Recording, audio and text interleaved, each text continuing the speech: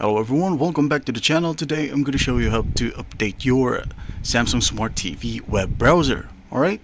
Well basically you don't have to do anything because uh, your Samsung Smart TV automatically updates your apps. All you have to make sure is just uh, it is uh, enabled or the automatic updates is enabled. To do so or to check, just go ahead and head over to your apps, select it, and wait for it to load. Now once it loads, go ahead and go to the top right and uh, go to settings, select it, and in here on the top right again, make sure that auto update is on. Alright, and that's basically it. Then you're gonna want to make sure right here in the internet when you use your down key if reinstall is available, just go ahead and use that and the web browser will be updated. Well, I hope this video helps and I'll see you in the next one.